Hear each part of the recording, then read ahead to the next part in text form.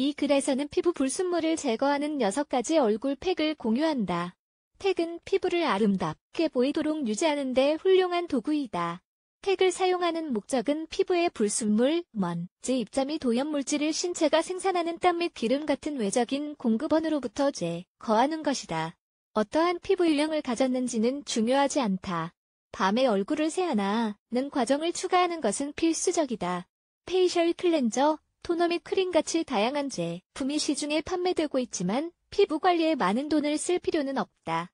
피부 불순물을 제거하기 위해 만들 수 있는 몇 가지 팩과 그 효과를 증진하는 비법을 지금부터 소개한다. 클렌징 및 각질 제거 몇몇 사람들은 비누 또는 우유 cleanser와 각질 제거제로 cleansing routine을 시작한다. 그 이유는 각질, 먼지 및 메이크업 잔여물 등의 피부, 불순물을 제거하여 영양분의 흡수를 높이기 위해서이다.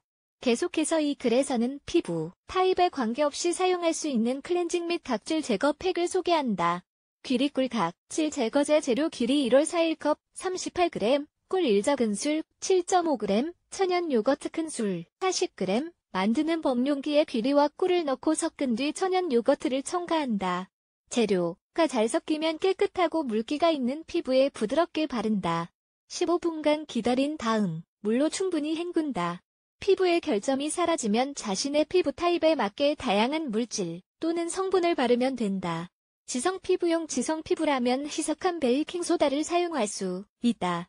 재료 베이킹 소다 1월 2일 작은 술 2g, 물 2큰술 20ml, 면봉 1개 만드는 범용기에 물과 베이킹 소다를 넣고 섞는다.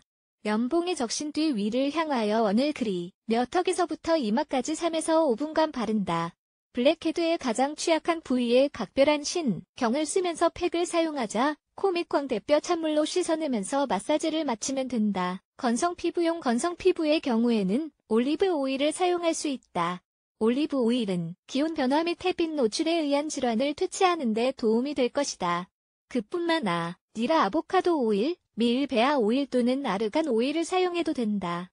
재료 올리브, 오일 2작은술 10g, 면봉 한 개 만드는 법 각질 제거를 한 뒤 깨끗한 피부에 면이나 손가락을 이용하여 올라가는 원을 그리며 오일을 바른다. 오일이 흡수되도록 3 분간 기다린 뒤 잔여물이 제거될 때까지 미온수로 얼굴을 세안한다.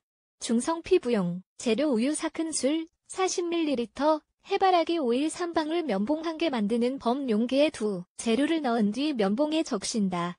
올라가는 원을 그리며 팩을 바른 뒤 피부에 흡수되도록 3에서 5분간 기다린다.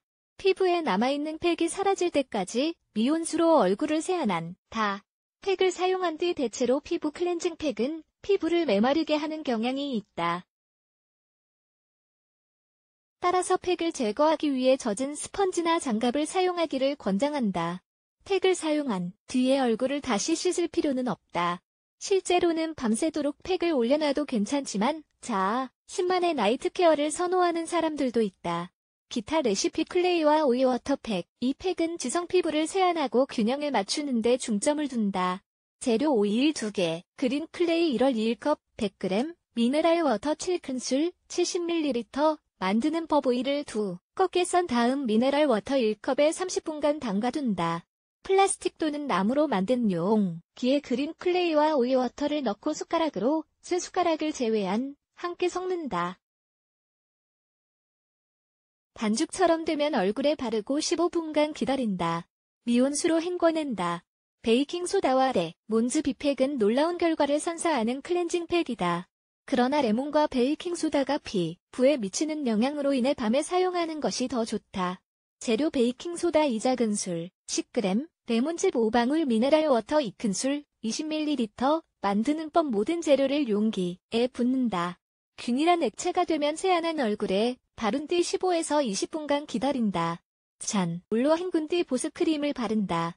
이러한 팩을 꾸준하게 사용하고 좋은 선크림과 모자를 사용하여 햇빛으로부터 피부를 보호하고 반점이 생기는 것을 예방해야 한다는 점을 잊지 말자.